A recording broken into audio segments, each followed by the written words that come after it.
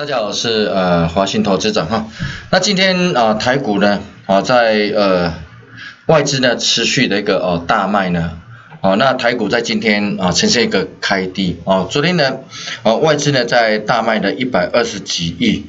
当然了在啊整体来讲的话啊卖超的标的啊还是在台积电，哦那红海呢已经连续二十卖，哦所以呢在啊整体呢。啊，以台积电呢，今天啊开始呢，啊呈现一个啊反弹的一个走势，因为在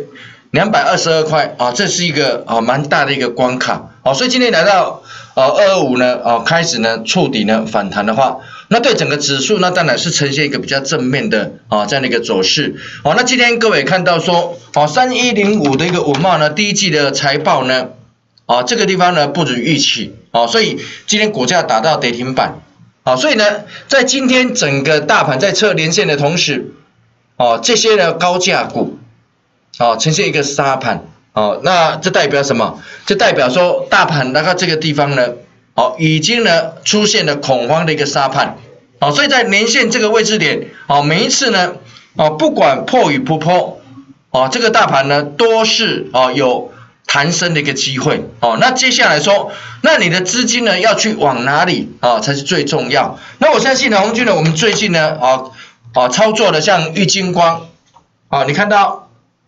我们这一路呢操作哦，来到高点啊，接近一三百。啊，三百呢，啊，接近呢，啊，快四百块这个位置点，好，我们当时跟各位讲说，哦，慢慢的，哦，开始呢做一个哦卖出，哦，那我相信，哦，在啊整体呢，哦，在跌下来同时呢，那玉金光，啊，会不会呢，啊，再大涨一波？同时这个地方呢，那我，哦，不予置评，哦，我认为说一档股票，啊，这个地方呢，我们要看的说，哦，它未来的一个呃机会，哦，在哪里？哦，就像说，哦，在生技股里面，红军讲过的，哦，就像中裕，那中裕呢，哦，各位，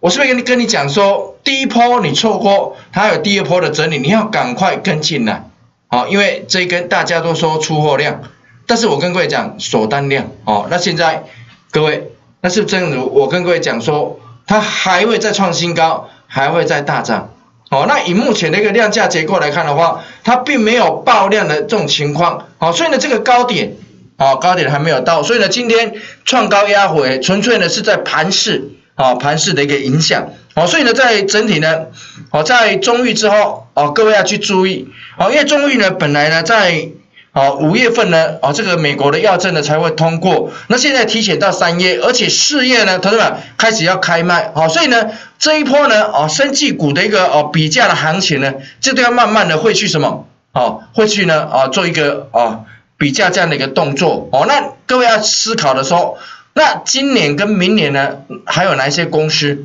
哦，它，哦有机会呢再取得药证，而且。哦，它的营运呢，哦，有机会来做一个转亏为盈，哦，那我相信，哦，我们在上礼拜的啊讲座，我们跟各位讲说，哦，在呃安诚药这档个股，哦，去各位看到，哦，它呢在这一波拉升之后呢，呈现三波的一个哦这样的一个下杀，哦，那今天各位跌回来呢，那是不是一个最好的一个机会？哦，所以呢，啊操作，哦，你总不能说等到哦大跌了，哦这个地方呢，哦或是大涨了，那你再来动作都来不及。好，所以今天要利用这种恐慌的时候呢，来布局一些呢好的一个个股。好，我现在今天哦，大家说啊，那瓶盖股哦，可能受到呃很多消息面的影响。好，那台积电呢这个地方呢，哦，可能呢在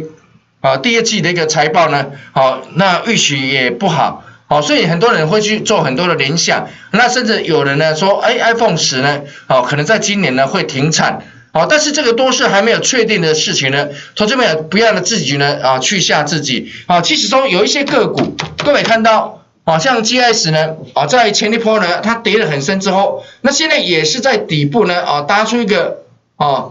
扎实的一个啊这样的一个底部。哦，那 GS 呢，各各位看到说，啊，其实它目前那个本益比呢大概在。好，八倍左右哦，所以呢，哦，这个地方呢，以长线的一个角度来讲的话，那这里呢，哦，非常适合呢，哦，一个比较哦波段的啊长期的一个投资的一个架构哦，所以呢，很多股票呢，不是投资朋友，你们认为说，哎，这个地方哦，它没有机会哦，我相信很多机会呢，哦，各位呢，你必须要去做一个哦掌握这样的一个动作哦。那今天的文茂的跌停，那当然啊，这个地方是纯粹说哦，在啊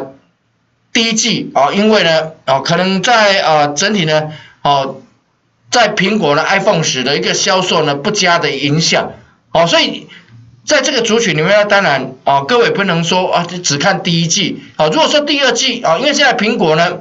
哦，在五月份呢。哦，开始呢，哦，会做一个哦拉后这样的一个哦动作的话，那我相信呢，这一次跌下来哦，各位呢，哦，你要好好的去思考说，那哪一些瓶盖股哦拉回来呢？哦，就是呢，你要开始布局的一个机会。那大盘呢，我认为在年线这个地方呢，哦，不管破与不破呢，哦，又是另外哦一次的一个机会。我现在没事哦拉回来，我都会跟各位讲哦。我相信在万点这个地方呢，持续的回撤，那未未来呢会更扎实，哦，所以机会呢永远留给有准备哦，准备好这个地方呢找好的股票，趁这一波恐慌杀盘的时候，赶快呢做好准备。明天同学再会。